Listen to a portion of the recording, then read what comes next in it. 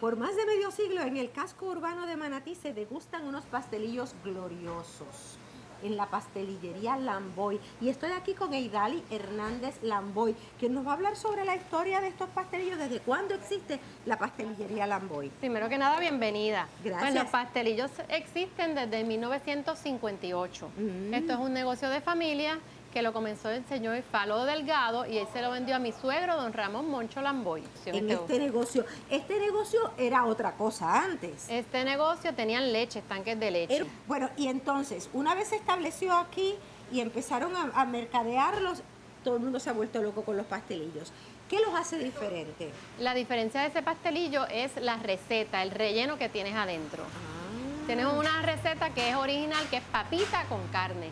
Y eso no es lo que tienen otros pastelillos y eso lo hace diferente. Además que el pastelillo se hace a mano y la receta se hace todos los días. O sea que tú te comes un pastelillo completamente fresco hecho a mano, que es una artesanía. Sobre la historia de esta estructura, cuéntame anécdotas. ¿Qué ha sucedido aquí? que hubo un fuego.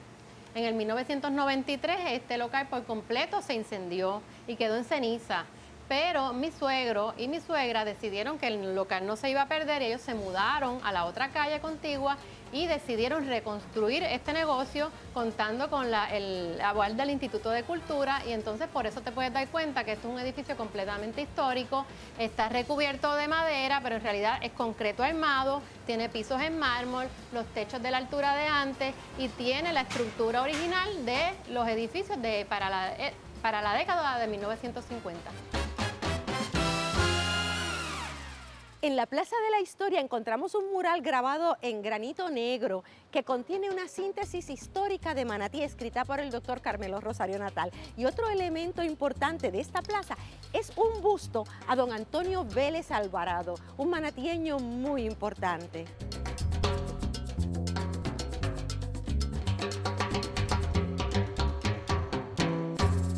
Uno de los elementos que hacen que la vida urbana sea realmente rica es cuando tenemos industria, que tenemos trabajo en el pueblo. Este es un ejemplo de la industria liviana que tuvimos en Puerto Rico hace varios, varias décadas y es la industria del tabaco. Esta es la antigua tabacalera de Manatí, donde decenas de mujeres trabajaban desparillando el tabaco. Y aquí tenemos un ejemplo ¿no? de lo que llamamos ese elemento de interacción del trabajo y la cultura en las ciudades.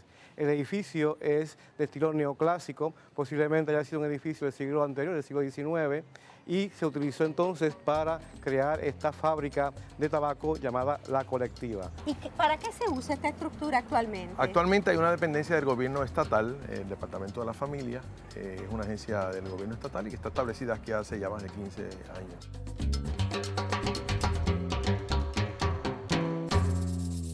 Arquitecto, eh, como en todos los pueblos, en Manatí hay algunas estructuras que el tiempo ha ido deteriorando. Dos de estas son la antigua Casa Torres, que data de 1850, y la Casa Brunet Calaf, construida en 1860. ¿Qué nos puede decir de estas estructuras? Estas estructuras responden a un elemento social básico de nuestros pueblos y es que en las plazas están ubicadas las residencias de las principales familias. Son estructuras, digamos, comerciales residenciales. El primer piso usualmente se usaba para comercio y el segundo piso para vivienda de los dueños del comercio. Son estructuras clásicas en el sentido de que responden al tipo criollo, de madera, y son estructuras que responden también a nuestro clima.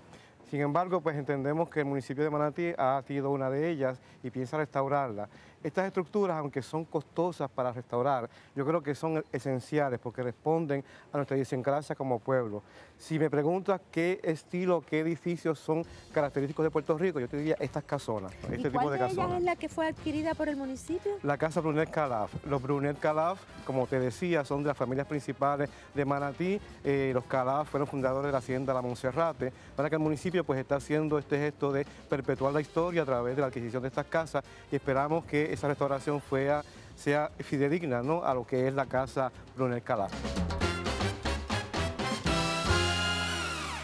¿Cómo ha afrontado Manatí los problemas típicos de los cascos urbanos, la pérdida de residentes, eh, la merma en el comercio, el deterioro de las estructuras? ¿Cómo han hecho? Se han hecho ordenanzas municipales liberando algunas, eh, eh, para, para dar algunos descuentos y evitar el pago de, de algunos impuestos para incentivarlos a que vuelvan a invertir y a, mejorar eh, las áreas. El municipio también está haciendo trabajos de, mejoras en la calle para hacer el lugar un poco más atractivo, por supuesto.